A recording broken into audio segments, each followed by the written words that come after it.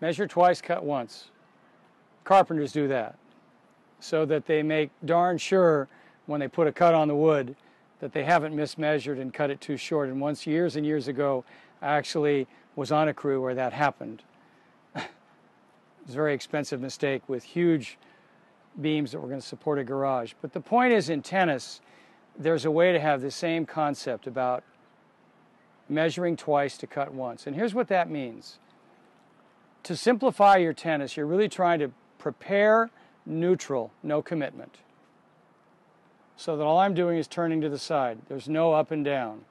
But the measuring comes when I start to read where the ball is. So that if it's low, here's my neutral turn, and now I'm measuring, and now I'll cut. And the most common error in tennis is just the opposite. Someone prepares with a commitment. They have not measured the low ball, and then when they go to hit it by cutting it, they actually foul it up. Now, cut also means when you're spinning it, but what I'm getting at is this. The simplest way to play tennis is to measure the ball. Here's a high one. I've measured, and now I'm ready to play. And as you watch others and as you work on your own game, start to notice what happens when that ball hits the tape. It's halfway across the court. At that moment, you didn't know high or low, but you did know forehand or backhand. And if you've been neutral, you can adjust. But if you haven't been neutral, you won't. Now, how else can you practice this on court?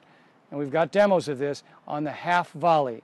And since the ball is going to be met at a low level, I've got to measure at a low level. And as you work on your game, what I'm about is always trying to have you simplify to simplify, and measuring twice to cut once is as good a way as I can describe how to play simpler tennis, error-free tennis, where somebody says, man, you made very few errors today, and you say, yeah, it was one of those days.